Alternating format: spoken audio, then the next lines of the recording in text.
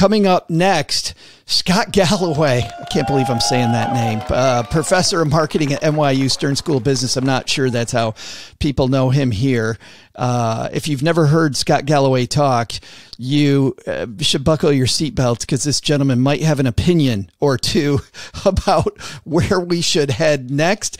We're going to ask him not just about what he talks about, which is his new book called Adrift, where he talks about all the different things going on in the economy, in the work world. And we've talked a lot here, OG, about the pay gap, women making sure they advocate for themselves. We have Bola on talking about that.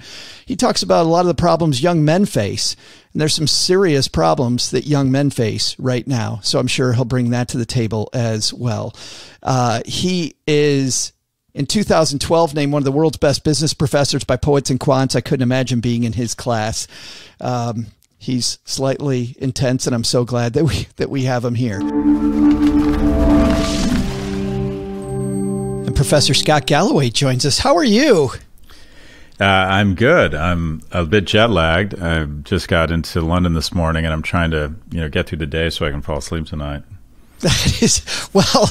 If anything, hopefully we'll keep you awake. I hope it's the next twenty go. minutes. Let's do let's do our best.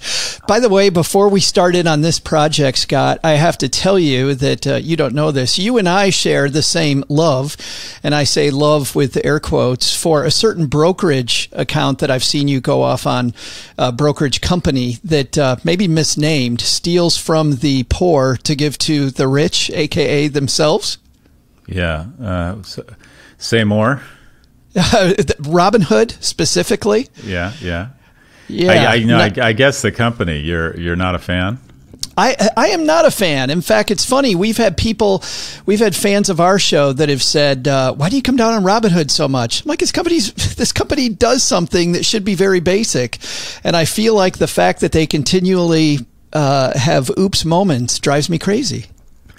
Yeah, it's it's um uh, I think it's really unfortunate. It kind of ties into one of the big themes in the book is failing young men, and I think so. First off, men, eighty-five percent of gambling addicts are male, and uh, also gambling addiction has the highest suicide rate because you can get in really deep and nobody knows, and then you feel as if there's no way out. If you have a meth problem, people figure it out and usually intervene. And gambling, you can lose your house, your kid's college fund, spend all of your, you know, bust all you know bust all your life insurance and nobody knows uh, so it's really it's really a um, it's a very mendacious um, uh, addiction and I feel that Robinhood uh, was in the business of figuring out a way to create a business model that incentivized them to addict young people to gambling. There's nothing when you're trading options in crypto, which is about 60, 70% of their revenue, that's not investing. That's gambling.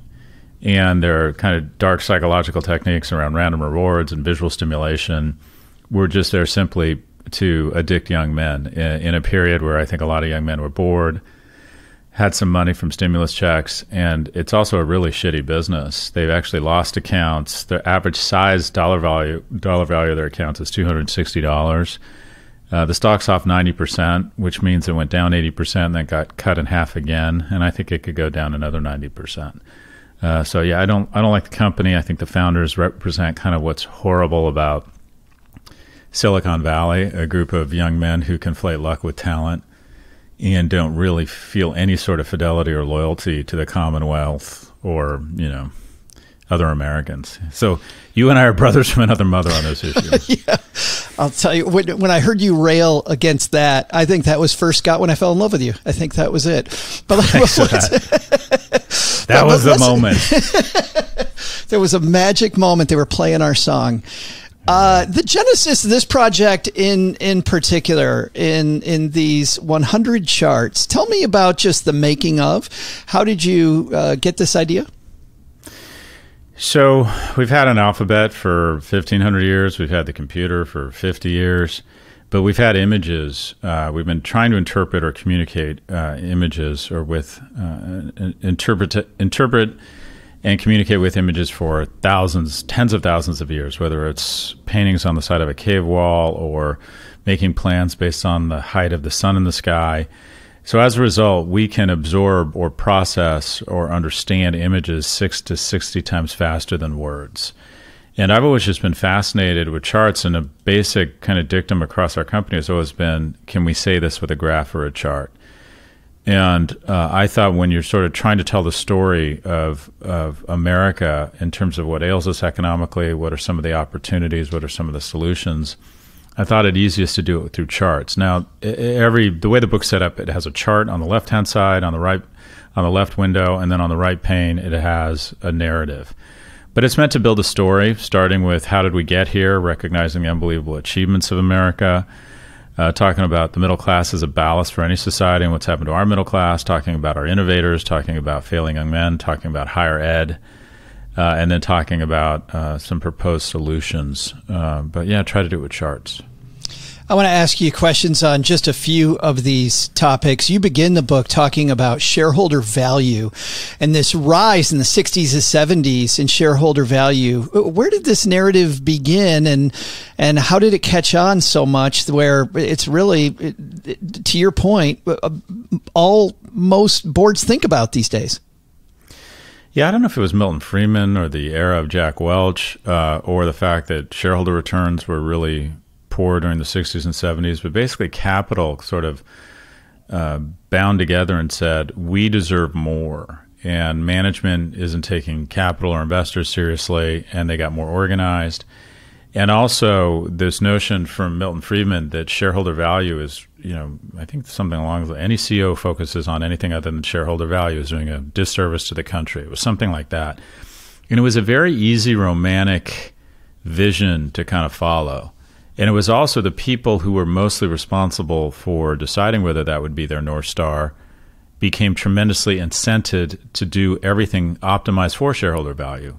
Uh, boards of directors, who usually represent shareholders, not the workers. In Germany, half the board uh, is represented by usually the biggest union in, that works at the company. In the U.S., essentially, directors represent shareholders for the most part. They talk about, they now use the word stakeholders, not shareholders, but for the last 50 years, it's been all about the share price. And then typically management, who decides what they're going to pay people, where they're going to invest, the majority of their compensation comes from shares or the, the, the uh, share price.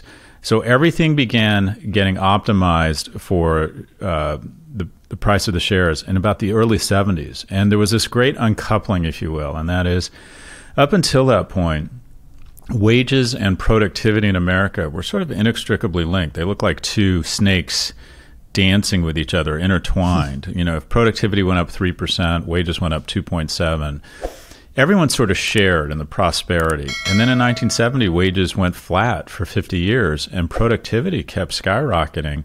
And the delta between those two is literally trillions of dollars, if not tens of trillions of dollars in excess value that was captured all by shareholders because when you're totally optimized for shareholder value, you're much more inclined to buy shares back rather than invest in plant, property, and equipment or new employees. You're much more likely uh, to fight any sort of minimum wage. You're much more likely to fight any union. You're much more likely to pay people less or have software that clocks them out automatically when your North Star is just shareholder value. It used to be a lot of things 100 years ago, not just that. And so that was kind of the, and there's even a website on it uh, that just talks about nothing but what happened in the early 70s when all of a sudden we decided to make shareholders king. Or actually, you'd say the consumers king, shareholders of the prince, and workers yeah. the pauper. The uh, I want to I want to dive into that a little bit more because you have two charts in that first chapter, which uh, I think make this point very well. Uh, during the time frame you have in the chart, worker productivity up 120 percent, wages are stagnant. What you talked about at the end of your book, you bring up some really big ideas about what we need to do, Scott, as society. But if I'm somebody who's just worried about what Stephen Covey said, you know, my realm mm-hmm. of direct control, if mm-hmm. I'm a mm-hmm. young person and I know that there's this huge income inequality gap between the top 1% and the bottom 99%. Things are getting better. Like, what do I do with this? How do I take this and then begin to form a career that makes sense?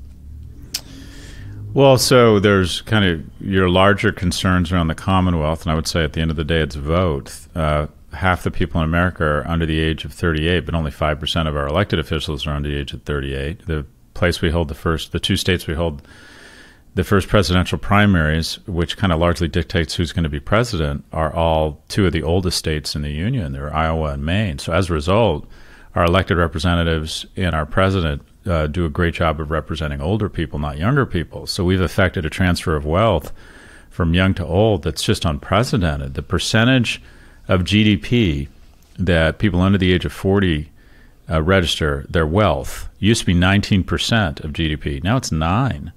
Meanwhile, the wow. average person over the age of 75 has seen their wealth increase 72%. It's down, I think, 24% for people under the age of 40. So look at the two largest tax deductions mortgage interest rate and capital gains. Who owns home and owns stocks? Old people. Who rents and makes all of their money from sweat and current income? Young people. So these aren't people like to, there's this, what I call this illusion of complexity or the world is what it is ism. And that is, people throw up their arms and say, you know, these forces are bigger than us. No, no, these are, these are deliberate decisions we made to transfer money from young people to old people and to transfer money from workers to shareholders. These are deliberate decisions.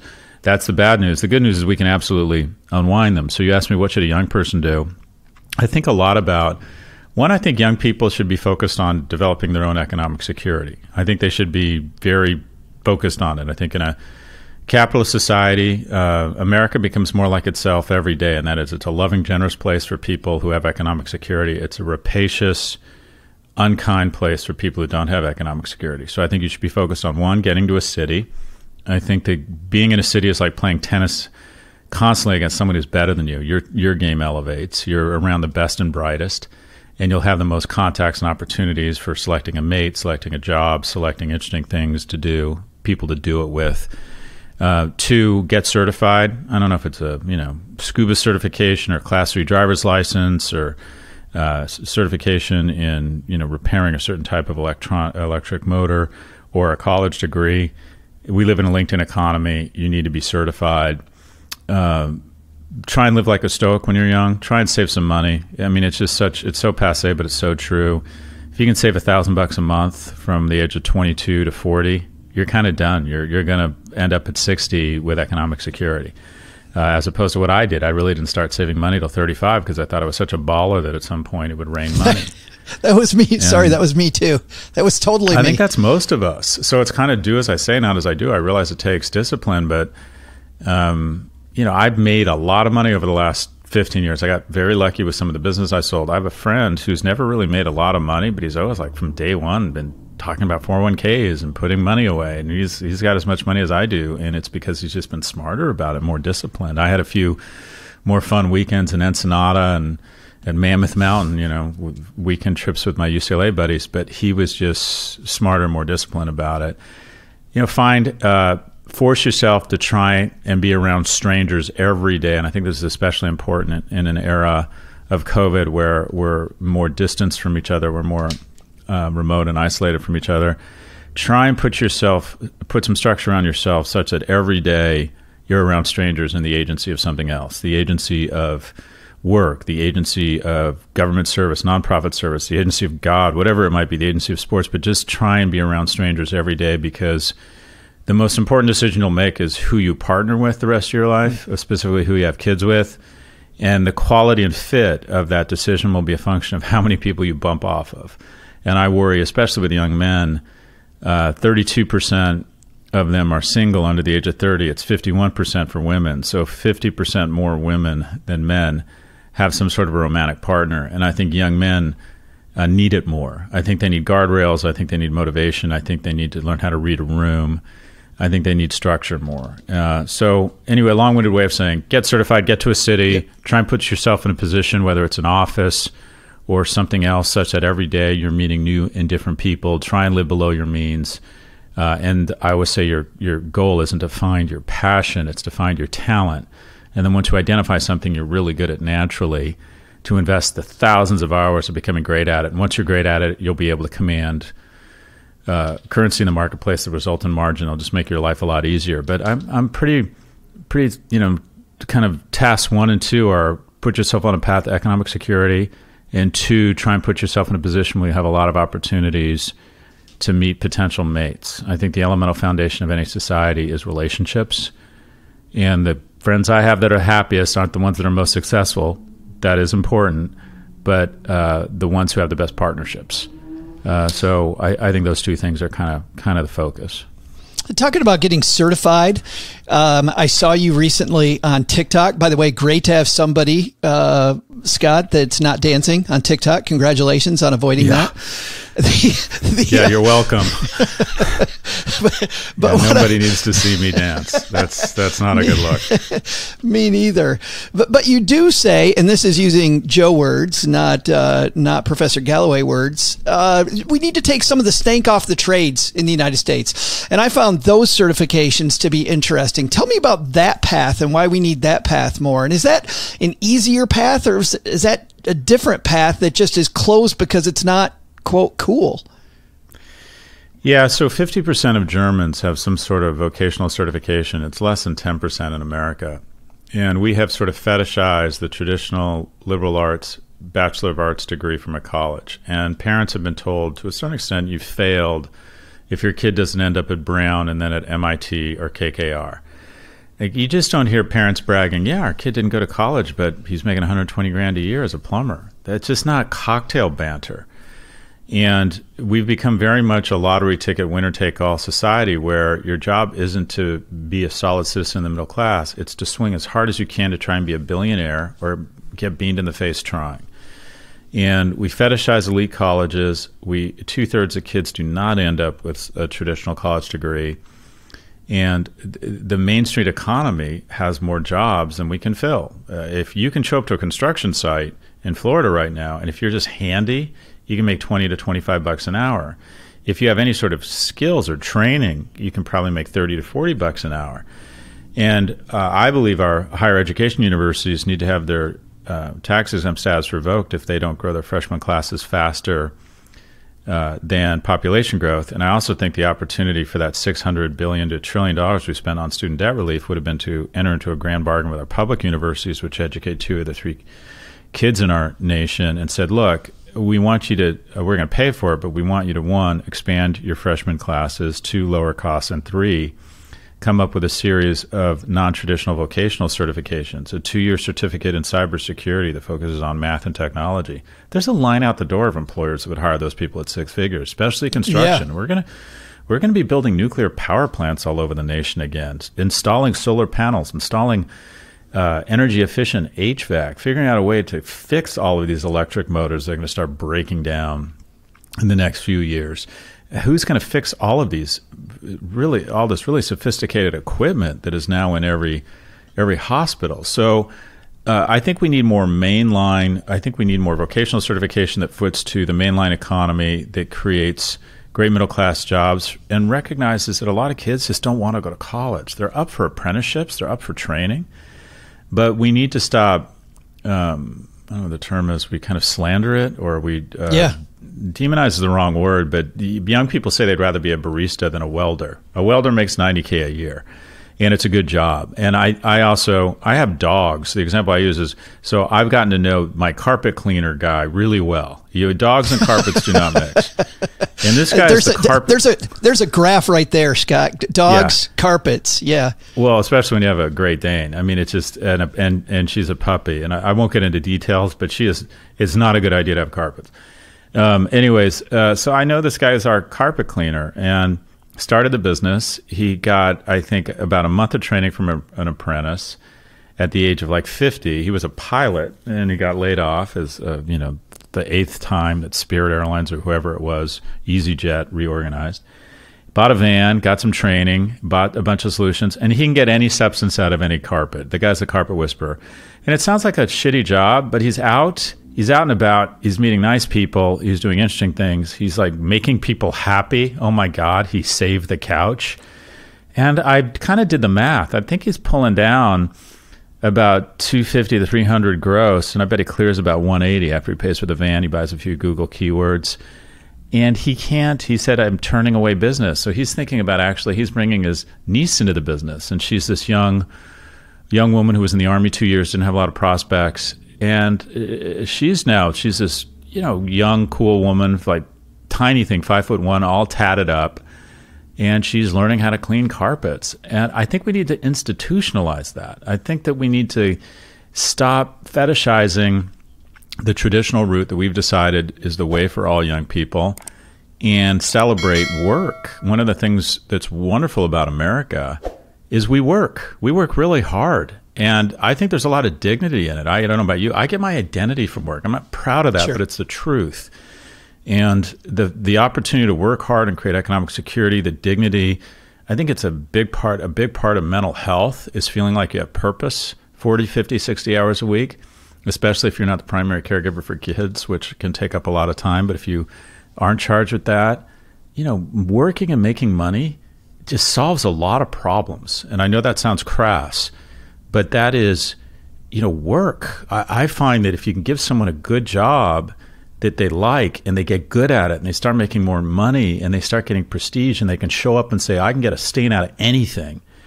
There's some level of uh, there's there's a level of confidence and self esteem there, pride, and yeah, that's that's that's right. And then you know who knows? Maybe you're really ambitious and you buy a second van and you hire somebody else.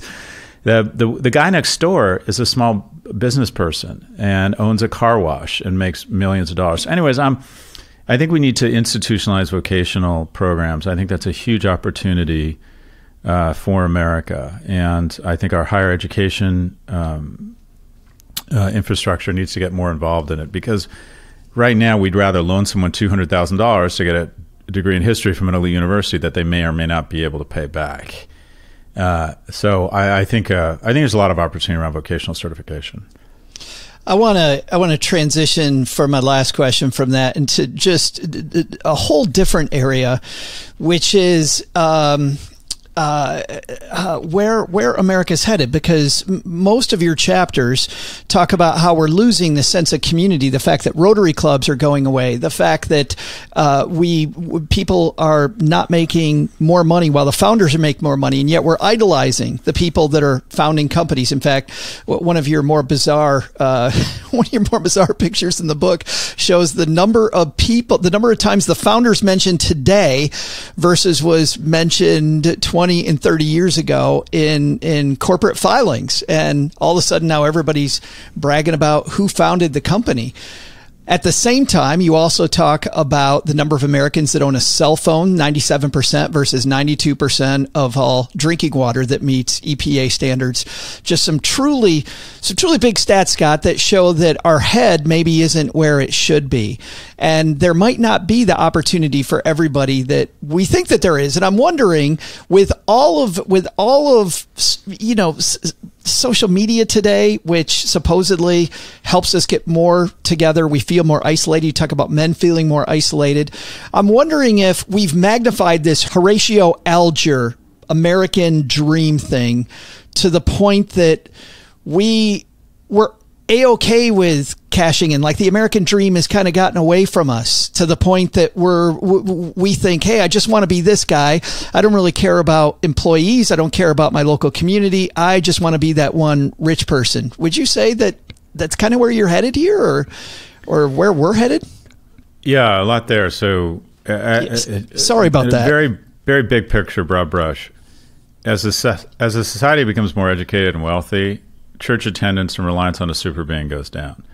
But our questions get bigger and bigger. So in that void has slipstreamed tech innovators. Every third year, Times Person of the Year is the richest guy in tech. It's not the most famous doctor. It's not the most famous engineer. It's not the most famous astronaut. It's the wealthiest tech guy. I don't care if it's Bill, Bill Gates or Steve Jobs or Elon Musk. Every third year, Times Person of the Year, or we decide in America the person who's the person of the year is whoever's the wealthiest tech person. And it's understandable because we've developed this idolatry of innovators. And the closest thing to God that we have is technology. It's mystical. I have no idea how my iPhone works. I just know it's amazing. And these people are not only geniuses at making this shit happen, they make billions of dollars. And we have this idolatry of the dollar. So we put these people up on a pedestal. I think I think Steve Jobs is our generation's Jesus Christ, and I think Elon Musk has kind of taken that mantle and it's unhealthy because they get to live by a different set of standards. Um, they they will shit post our government. They are profane, uh, and also I find that the lack of patriotism that they demonstrate infects younger men, and I think it's totally unwarranted and obnoxious. Uh, I think there's a reason that Elon Musk did not start an EV company in South Africa or that he's not launching rockets from a pad in Montreal. If you look at the Pacific coastline, it's littered up and down California with companies that have created the value of the GDP of a small Central American nation, whether it's Qualcomm in San Diego up to uh, El Segundo with SpaceX, Los Angeles or Venice with Snap. You keep going north, you get to you get to obviously to to Meta, to Google, to Salesforce. You keep going north, you get to Amazon and Microsoft. And then something happens around the, just above Seattle. It kind of stops. There's Lululemon up in Vancouver, but that's about it. And then when you get to Qualcomm down in La Jolla, again, it stops. And you got to go thousands of miles until you get to Mercado Libre in Buenos Aires. So it's clear there's something about America, and specifically the most valuable companies in the world all have one thing in common. They're a layer of genius innovation built on top of investments made by middle class Americans, whether it was DARPA or GPS or the US Post System. And so for these guys to be less fond or less appreciative of America, I find obnoxious. The people who are most patriotic are the ones who have invested most in America, our veterans, and the people who are least patriotic in my mind are the ones who have benefited most from America, and that's our tech innovators. So I find it really discouraging that the people that young men model uh, want to say things like Elon Musk has said, uh, you know, the government just needs to get out of the way. He says that all the time. Should government have gotten out of the way when they lent you $450 million when your company was very, very early? Should we get out of the way in terms of the EV subsidies we're providing? Should we get out of the way in terms of the the charging stations that all taxpayers are paying for right now to make electric vehicles viable? So uh, there, there's a virus that infects. I consider myself part of the tech community. There's a virus that infects us, and that is we conflate luck with talent. And the smartest thing I ever did was to be born a white heterosexual male in California in 1964. That's the reason I'm here talking to you. I'm remarkably talented. I am not a modest person. I'm in the top one percent, and in on this in this world, that'll put me in a room the size of Germany. And I live a much nicer life than the top 80 million people on this planet. And it's because I was born at the right place in the right time. And I'd like to think that I appreciate that and that I have reverence for our, our if find me someone who's incredibly smart and wildly underpaid and they usually work for one organization, the US government. Find me someone who's wildly overpaid and totally unappreciative and there's your tech executive. So I think they're terrible role models for young men. I think we've lost a lot of connective tissue. We don't respect our institutions. America has never been stronger. Our government has never been, in my view, um, um, more important. And it disappoints me that we don't have any connective tissue, and we've become weird. A third of a third of uh, each party feels that the other party is their enemy. Fifty-four percent of Democrats are worried about their son or daughter marrying a Republican. And what we need to realize is that Americans' best allies will always be other Americans. And I think our idols are telling us uh, otherwise. And then they build companies that pit us against each other, exploit us, addict us. So I think the tech community sort of lost the script, and I think that they believe they're not. I don't believe they're held to the same set of standards as anybody else. I think if if if they found out that this podcast could be directly linked to an increase in teen depression and suicide, you and I would be out of a job, and that doesn't seem to be the case in big tech. That was it's a rant. That was well, a rant. well, well, and I puked out a question, and you puked out an yeah, answer. Yeah. Your answer was yeah. better than my question, though, brother. Uh, the book is Adrift: America in hundred charts, and you have some big solutions at the end of the book. I was glued from the beginning to the end. Thanks so much for spending some time with our Stacker community, helping us, uh, helping us grapple with some of the big questions. Scott, I appreciate it. Thanks, Joe. Congratulations on your success.